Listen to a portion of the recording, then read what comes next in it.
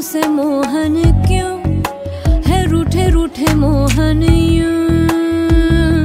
कैसे मनाऊं? है कैसे मनाऊं? क्यों न बोले मुझसे मोहन क्यों?